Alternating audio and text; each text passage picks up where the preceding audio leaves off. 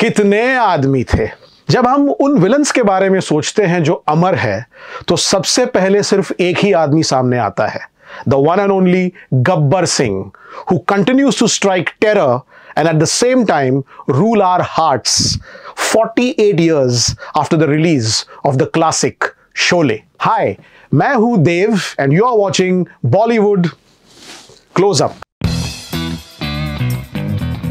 On the release anniversary of the epic Sholay, I will share with you five interesting facts related to the character whom we remember as Gabbar Singh Wald Hari Singh. Fact number one Gabbar versus Dharmatma. Superstar writer Salim Javed जिन्होंने शोले लिखी how did they conceptualise Gabbar Singh character कहानी यह है कि उन्होंने सोचा कि film Ganga Jamuna, जिस फ़िल्म से वो बहुत इंस्पायर्ड थे, उस फ़िल्म में दिलीप कुमार साहब का जो कैरेक्टर था which had shades of grey उस कैरेक्टर को पूरी तरह ब्लैक करेंगे तो कैसे होगा? Cruel evil immoral that is how the character of Gabbar Singh was born वो कैरेक्टर इतना पावरफुल निकला कि जब अमिताभ बच्चन और संजीव कुमार ने शोले की स्क्रिप्ट पढ़ी तो दोनों ने कहा कि मुझे गब्बर सिंह का रोल करना है। अल्टीमेटली उस जमाने के विलन डैनी डेंगजोम्पा को गब्बर सिंह के रोल के लिए साइन किया गया but he had to drop out because Sholay का जो शूटिंग स्केड्यूल था that clashed with the dates that he had allotted to Feroz Khan for the film Dharmatma so a few days before the shooting of Sholay began the film did not have a villain fact number two Gabbar की खोज। सलीम जावेद और film के director Ramesh Sippy ने काफ़ी सारे actors को consider किया for the role of Gabbar, लेकिन कुछ बात बनी नहीं। फिर सलीम साहब को एक बात याद आई। कई साल पहले जावेद अख्तर साहब ने उनसे कहा था कि उन्होंने एक नाटक देखा था जिसमें there was a young actor called Amjad Khan and Javed sahab was highly impressed with Amjad Khan acting and his talent Salim sahab को वो बात याद आई और उन्होंने अमजद खान को कॉन्टैक्ट किया और उसको बुलाया। Amjad Khan underwent a screen test and he passed. Sholay finally had a Gabbar.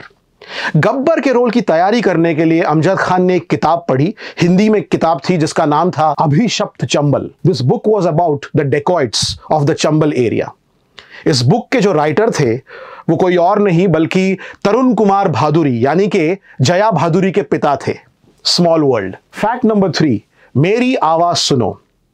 आपको यह सुनकर शायद ताजुब होगा कि शोले फ़िल्म की डबिंग कंप्लीट होने के बाद कुछ लोग थे जो अमजद खान की आवाज़ से ज़्यादा इंप्रेस नहीं थे। उन्होंने जाके रमेश सिप्पी को सजेस्ट किया कि आप किसी और से अमजद खान के डायलॉग्स डब करवाइए। His his voice is very weak Sholay film से जुड़े हुए दो लोग थे Jaya Bhaduri and Jim Allen the stunt coordinator जिन्होंने अमजद खान को सपोर्ट किया और उन्होंने रमेश जी से कहा कि आप अमजद खान की आवाज़ रिटेन कीजिए। वो बहुत अनयूजल है it will work Finally, Ramesh Sippy decided to go ahead with what his gut told him, and the rest is history. Sholay film बहुत बड़ी हिट हुई लेकिन उस फ़िल्म के जो रिकॉर्ड्स थे गानों के रिकॉर्ड्स वो ज़्यादा बिक नहीं रहे थे।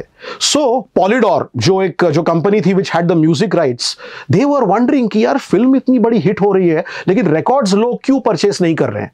फिर उन्हें यह पता चला कि फ़िल्म का जो डायलॉग है that is more popular than the songs तो फिर उन्होंने शोले के डायलॉग्स के रिकॉर्ड्स निकाले और मार्केट में रिलीज़ कर दिए। And those records sold like hot cakes and guess whose voice had the greatest impact Gabbar Singh fact number four Gabbar मुर्दा गब्बर सिंह डाइज इन शोले जी हाँ ओरिजिनल शोले में गब्बर सिंह की मौत होती है। ठाकुर गब्बर सिंह को मार डालते हैं और इस सीन को शूट भी किया गया। सेंसर बोर्ड ने इस सीन पे ऑब्जेक्शन रेस किया। And they made the Sippys reshoot the climax और फिर वो क्लाइमैक्स शूट हुआ, जिसे हम सबने देखा है कि ठाकुर अपने पैरों से गब्बर को कुचलने वाले होते हैं जब पुलिस आती है और गब्बर को गिरफ़्तार करती है। एंड दस गब्बर सिंह लिव्स लेकिन अगर आपको मौका मिले तो प्लीज़ आप यूट्यूब पे जाके ओरिजिनल क्लाइमैक्स चेकआउट कीजिए। Just watch Sanjeev Kumar performance and Gabbar Singh falling like a log in slow motion fact number five brand ambassador Gabbar Singh और एक biscuit is there any link between the two जवाब है yes Sholay जब बन रही थी तो किसी ने यह नहीं सोचा होगा that the most hated character in the film will become the most popular character after the release of the film Gabbar Singh a cult figure. In fact, even Samba, his chamcha, also became a cult figure. और गब्बर सिंह तो brand ambassador भी बन गए.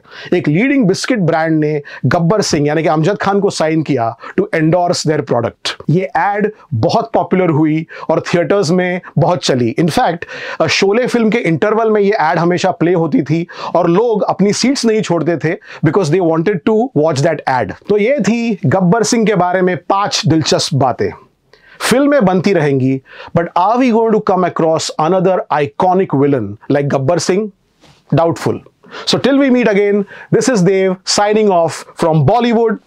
Close up. See you. Radio Nasha.